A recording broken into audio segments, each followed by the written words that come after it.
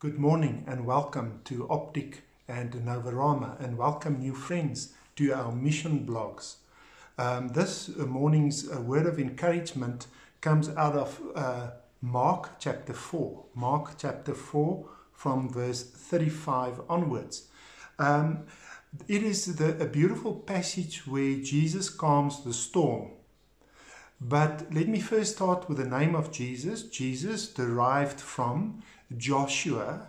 Joshua, or then the Hebrew name Jeshua. Jeshua, and those names exactly means what Jesus' name means here. Captain Jesus, where Jesus calms the storm. Captain Jesus, Savior, Rescuer, or then Deliverer. That's what Joshua, Jeshua, or then Jesus' name means. But before we carry on, let me give you a read uh, from then from chapter 4, Mark, verses 35.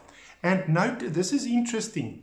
Not Matthew or Luke mentions that there were other boats on the lake. There were other boats on the lake.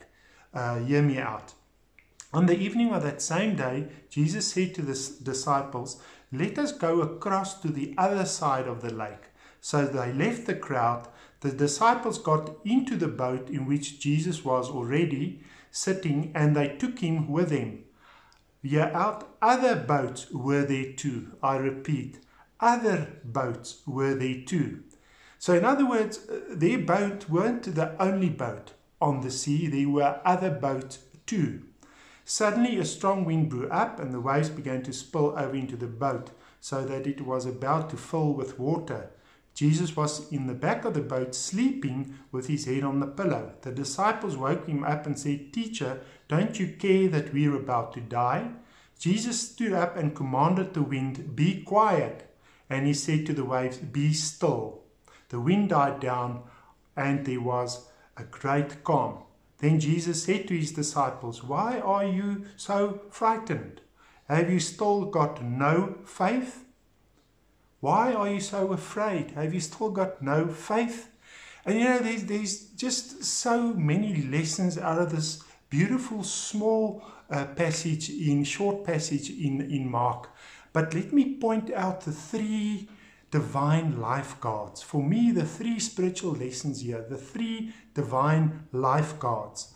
You know, uh, sometimes when we face problems in our lives, sometimes when we face the storms of life, the storms of life's life and big problems in our lives, we are so anxious and we're so fogged up. Our vision is so blurred that we sometimes forget to look at the most obvious, the most obvious.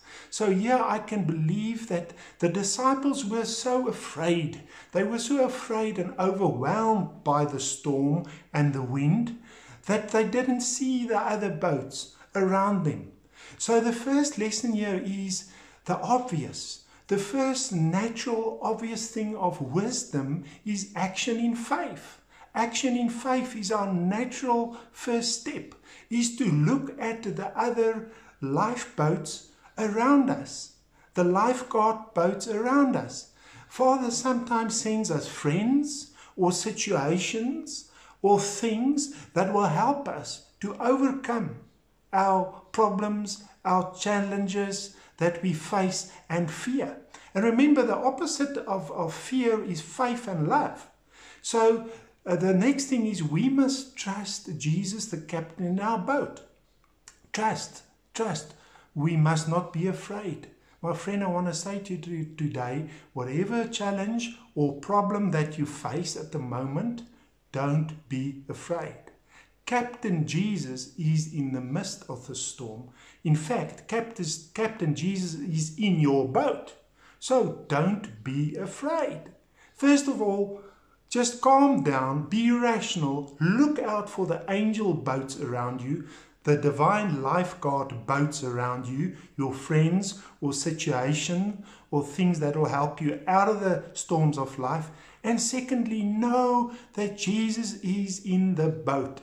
Jesus will calm the storm. Jesus is in control of the storm. Captain Jesus is the author of your life. There is no reason to be, be fearful. trust, trust in the captain Jesus. And then the third lesson the year for me is the Holy Spirit.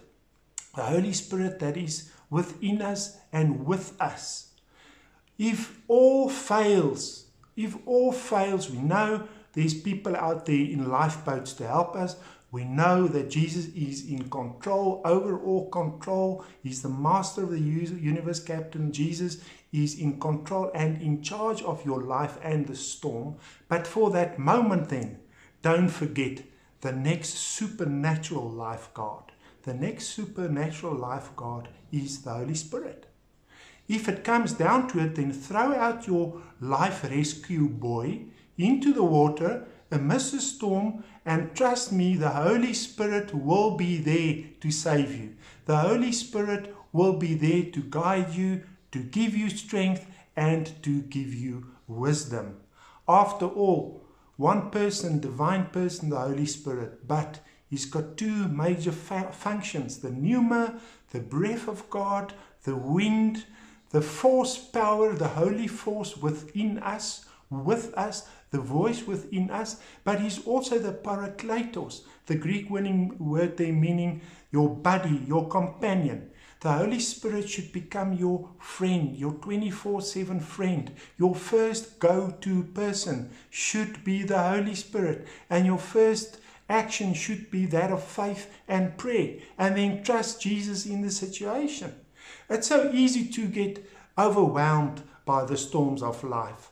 Don't.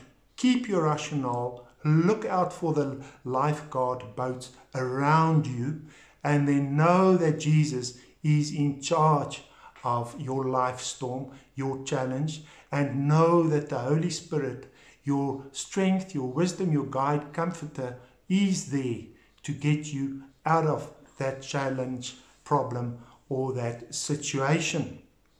So remember, the Holy Force be with you. May the Holy Force be with you, the dear Holy Spirit. And then also, may you listen to the holy voice within you. And then also, may you make good choices outside of you. May you make good choices outside of you. And then, last, if you're not born again, if you do not know Captain Jesus, this is the time to receive him as Joshua, Jeshua, Jesus Christ, our Savior and Deliverer.